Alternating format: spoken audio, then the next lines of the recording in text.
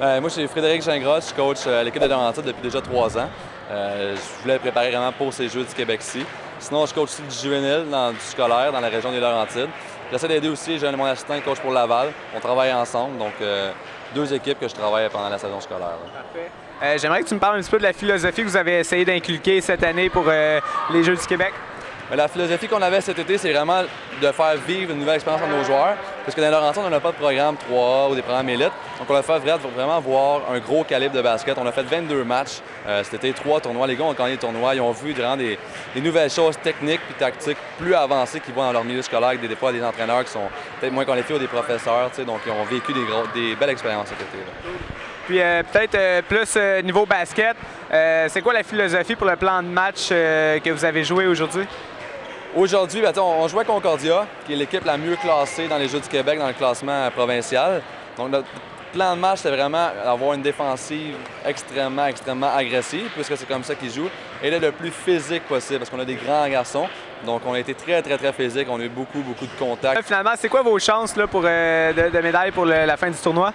Bien, on a, on a fait déjà nos quatre matchs. On a eu des très bons matchs de la cinquième position par quatre points. On a, on a perdu nos matchs. On a eu des très bons matchs. Je suis très fier de mon équipe. Écoute, euh, on ne pouvait pas mieux jouer. On a eu des petits problèmes par rapport à notre pourcentage de lancer.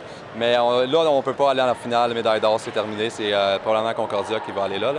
Mais euh, il y a un très bon tournoi pour les joueurs. Beaucoup, beaucoup d'expérience pour des joueurs qui ont pratiquement jamais vécu de tournoi, puisqu'ils font 12 matchs, aucun tournoi, puis c'est terminé. Là. Liam j'ai 16 ans.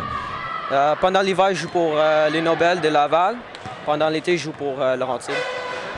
Moi, c'est Julien Chilé. Euh, j'ai joué, euh, ça fait quatre ans, je joue euh, pour Frédéric Gingras, mon coach à Rive-Nord. Là, je joue pour les Laurentides depuis quelques étés. Moi, je trouve que je suis un bon, bon point guard. Je suis capable de leader une équipe. Je suis intense, puis. Ben, moi, on résume ça en quelques mots, c'est ma grandeur. J'utilise bien ma grandeur, puis c'est ça. Puis euh, tu dis tu utilises bien ta grandeur. Qu'est-ce que tu fais sur le court concrètement pour aider ton équipe?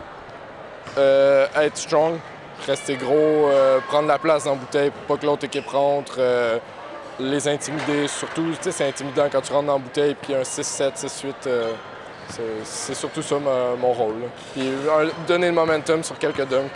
J'aimerais ça peut-être que vous parliez un peu de, de l'ambiance qu'il y a au sein de, de l'équipe cette année. Euh, cette équipe, euh, c'est très. Il y a beaucoup de chimie dans l'équipe parce que l'équipe était faite au début de l'été. On travaille a travaillé juste pour ce moment ici, les Jeux du Québec. Puis euh, c'est vraiment fun ici. Ça a été un peu plus long, moi, je trouve, euh, que tout le monde s'habitue parce qu'il y en a qui étaient de Laval, il y en a d'autres, euh, quelques-uns on a joué ensemble, mais après plusieurs semaines, c'était parfait, puis la chimie est bonne.